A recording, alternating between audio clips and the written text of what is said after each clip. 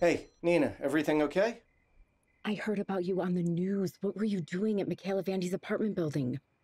Investigate a personal matter. She hired you? Yeah, What kind of personal matter? I can't answer that. You know the deal. Does it have anything to do with her sister? Christ, Nina, you know I can't tell you anything.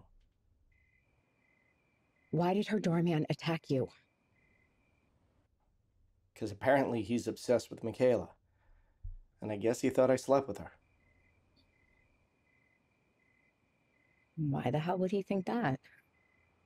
Because I went to her apartment. And because he's nuts. Please don't go nuts on me, too. Are you okay? Yeah, yeah, I'm fine. Thanks. Listen, was Katie watching the news with you? No. Okay, do me a favor. Don't say anything to her about this. She's going to find out from her classmates anyway. Yeah, well, if she finds out from her classmates, she finds out from her classmates. But for now, let's not say anything. Okay. Thank you.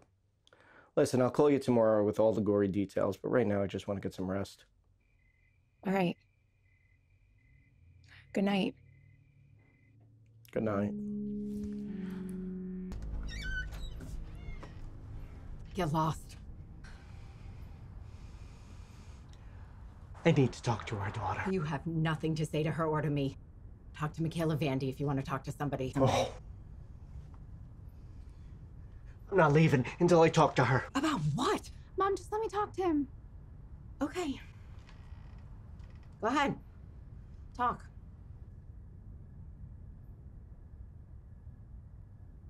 In private.